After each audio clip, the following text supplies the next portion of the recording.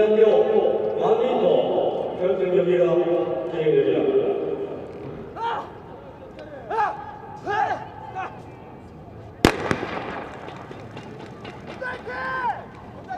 이영우 화이팅! 네, 남자대학교 만미터 결승 경기 지원자 선수 소개합니다.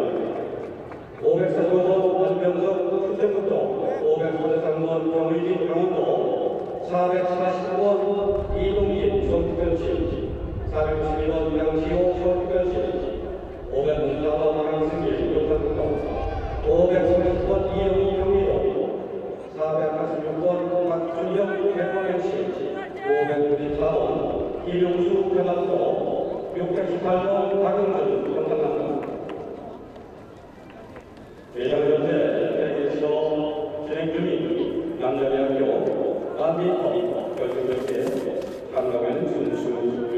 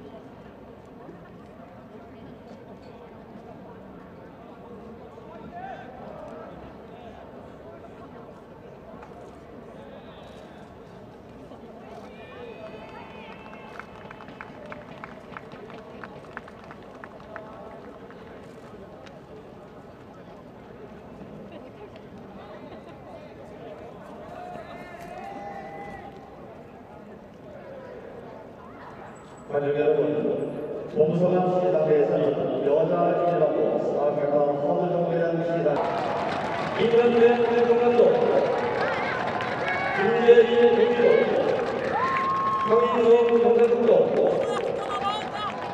정의동 경기도 네, 정의동 선수는 한국 신기록 보유자입니다.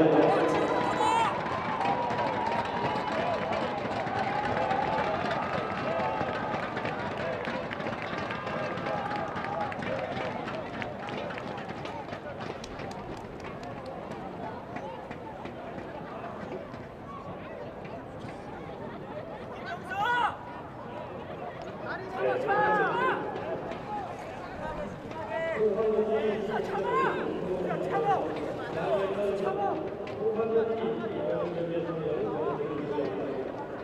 이제 남자대학교 만주대결승 경기 네, 마지막에 이제 각축경을 벌리게 되겠습니다.